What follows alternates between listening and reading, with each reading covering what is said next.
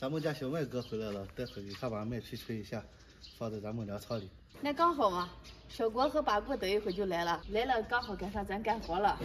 嗯，刚好。今年新小麦成熟了，很多朋友看到新小麦就问我有没有要卖的。其实作为我们庄稼人，告诉你们，我们吃的麦子都是陈麦，不吃新麦子的。新麦子都是把它吹干净之后放入粮仓的，等放个半年或者一年以上才开始吃的。新麦子磨出来的面吃起来不筋道，所以咱们都是吃那个纯麦的。所以呢，吃麦子一定要吃陈麦，不能吃新麦哦。我们把晒好的新麦子麦皮和颗粒分离一下，准备入粮仓。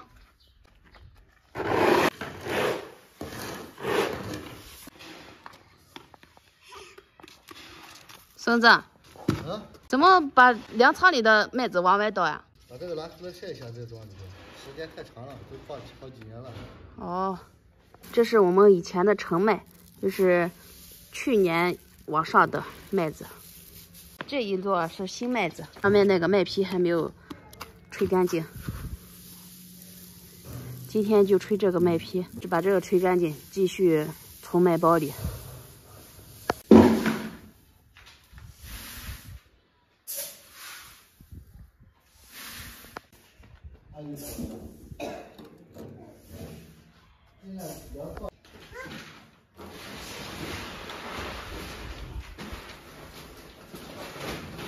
是我们的麦包，里面是存放麦子的。吃麦子的时候，把这个往上一拉，麦子就流下来了。留一袋子之后，又一插就好了。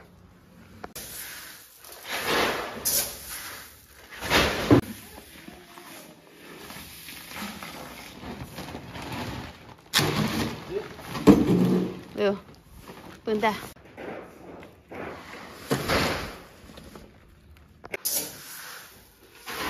小郭和八姑也过来给我们帮忙来了。这会就是把新麦子那个麦皮和麦粒分开来，把它清理干净之后，我们就存入麦包了。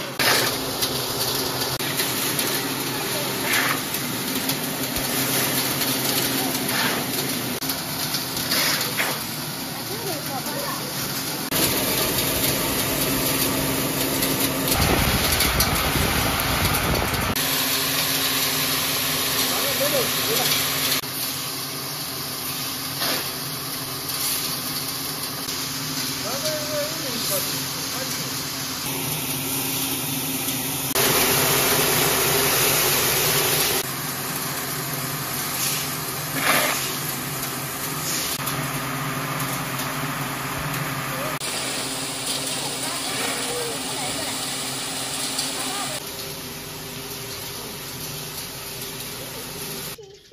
哎呦，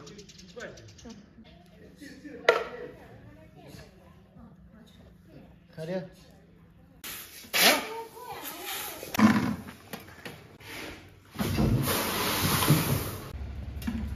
你俩配合还好的很嘛，一个装一个倒。又又得倒里面。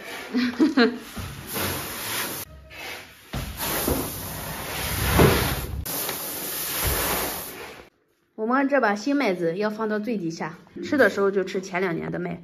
前两年的麦子已经放的很好了，吃起来已经很有韧劲了。新麦子放到底下，嗯，吃没的时候再吃它。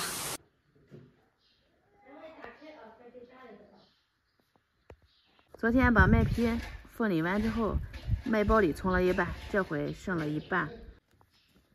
走，这回去把昨天晒好的麦子一卖。这些都要卖吗？那就卖昨呃今年的新买，旧的不用卖。哦，好吧。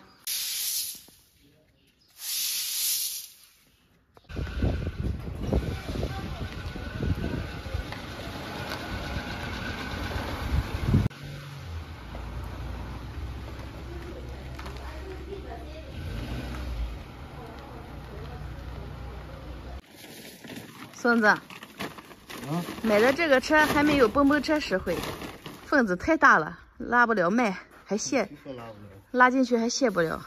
这个这人工卸。还得压脚。哦，默默，你把铁，你把铁锨拿过来了。去给咱装麦吧。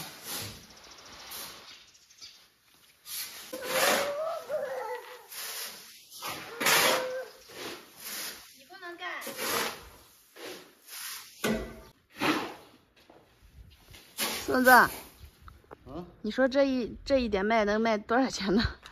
不知道多少斤啊？咱们家的麦子怎么这么少？咱家全是苹果。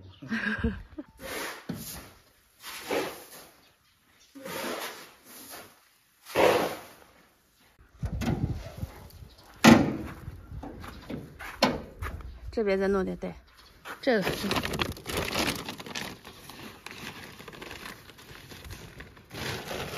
看这不弄，下面缝这么大，麦子全跑了，挡住就好了。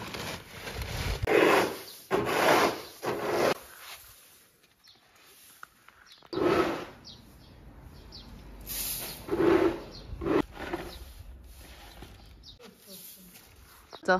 走，去卖了。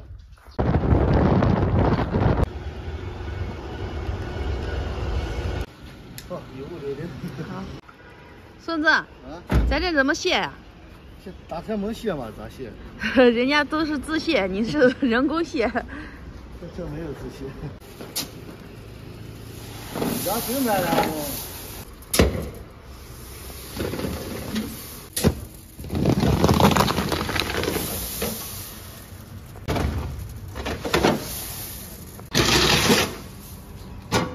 挖不下的，拿这一扫吧。好，把门打开。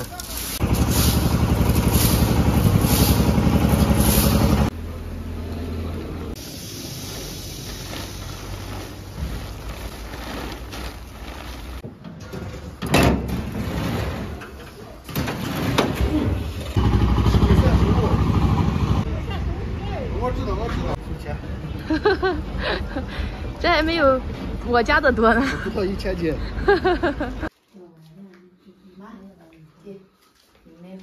理解多少？